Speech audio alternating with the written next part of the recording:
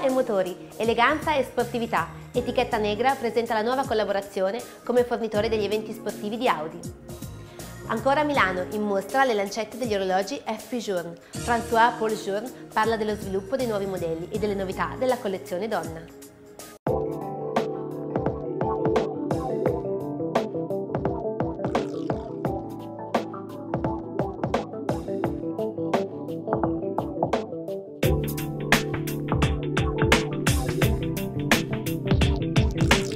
Questo evento organizzato con Audi per consolidare un po' l'amicizia e il connubio che abbiamo con loro con il circuito di, delle R8 e, e, con il trofeo Nuvolari che abbiamo appena concluso. E a livello sportivo noi indirettamente sponsorizziamo la squadra della, della Irrestrina eh, di Polo e poi sponsorizziamo anche il, la Brescia Corsi, il team delle macchine d'epoca della Brescia Corsi.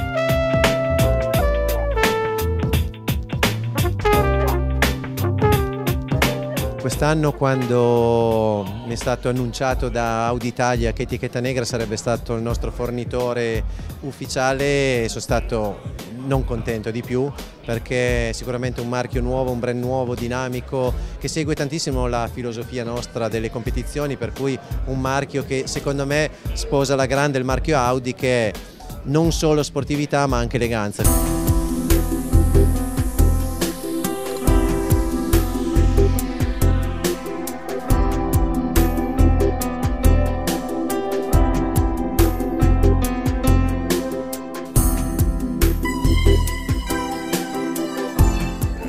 De la création et je fabrique aussi les prototypes.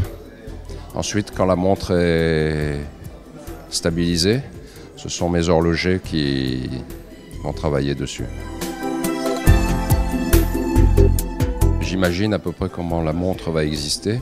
La première chose que je fais, c'est que je dessine le cadran.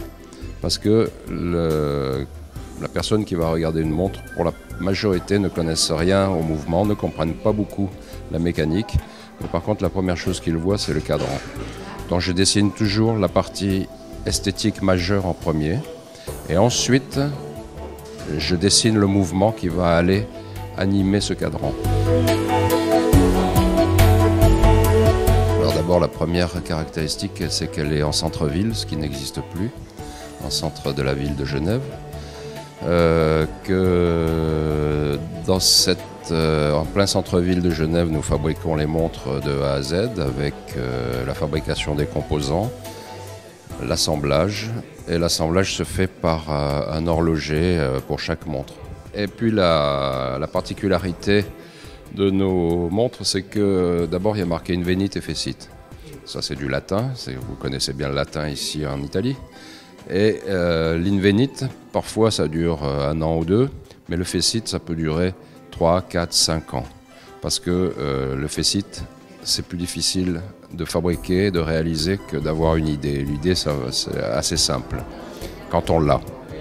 Dans nos montres, euh, le mouvement est en or parce que euh, nous ne fabriquons que des montres qui ont un boîtier en platine ou en or rouge. Et donc le mouvement est toujours en or rouge.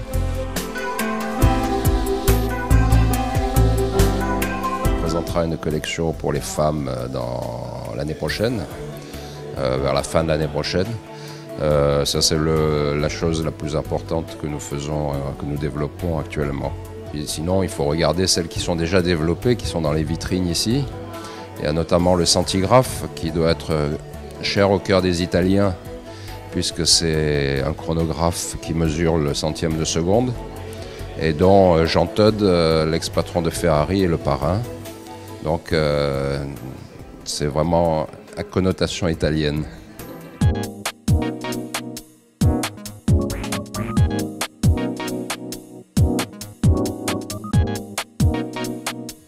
Mazze da polo, selle, ma anche dettagli in argento e richiami all'aristocrazia inglese.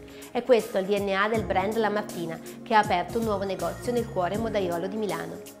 E poi, sempre nel quadrilatero della moda Meneghino, arriva la vodka Grey Goose, fra le più amate dai divi di Hollywood, una nuova boutique in via Monte Napoleone dove si possono gustare anche le specialità tutte francesi di La Doré.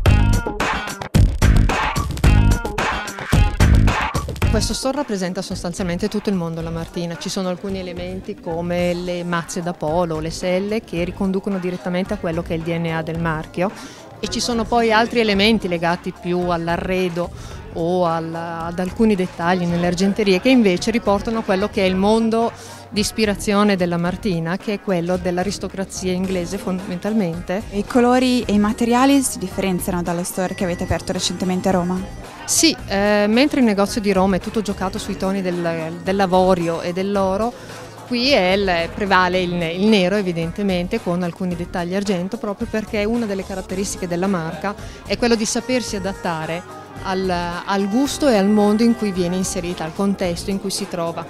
Per cui fondamentalmente Milano è la moda, la moda ha nel nero uno dei suoi colori di, di punta di riferimento e quindi lo store è nero. Da quanto tempo la Compagnia delle Pelli produce e distribuisce la Martina? La collaborazione è iniziata nel corso del 2007 con la licenza di pelletteria che nel 2009 poi e sul mercato è arrivata nel 2010 eh, ha portato anche la, la licenza di abbigliamento. La distribuzione copre tutto il mercato europeo e del Medio Oriente. E in termini di fatturato come pensate di chiudere il 2010? È stato un anno per noi comunque molto positivo e siamo attorno ai 72 milioni di euro.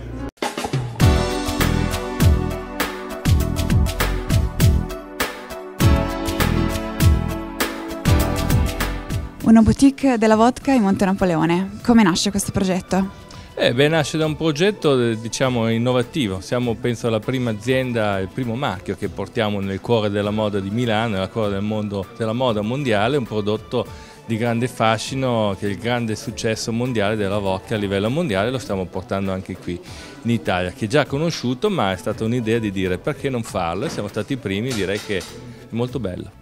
Ecco, ci puoi descrivere un po' le modalità del progetto e anche la collaborazione con la Duré? Grey Goose è un prodotto che nasce in Francia, è un prodotto del gruppo Bacardi Martini e che eh, già da 5 anni distribuiamo in Italia. L'idea è comunque eh, rappresenta proprio questa la sua francesità e questa connotazione. Duré è un prodotto che per una tipologia di consumo diciamo sempre di un certo tipo ma mh, del mangiare e del buon bere si abbina molto bene a questa immagine francese, anche lo stile del negozio rappresenta un po' questa uh, questa qualità e quindi questa combinazione dà sì in modo di poter fare un qualcosa di diverso ma di elegante di, e di bello anche in questa via di Milano che è eccezionale.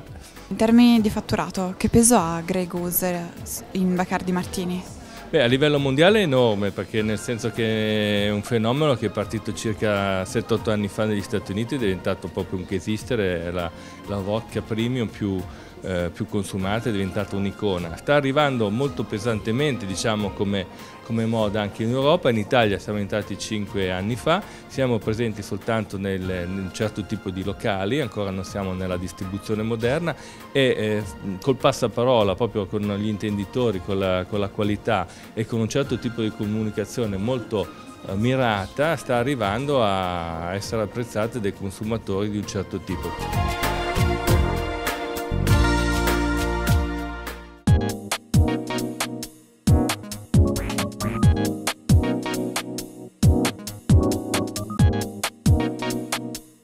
Questa puntata di Pambianco Week on TV è tutto. Volete scriverci? tv at pambianco.com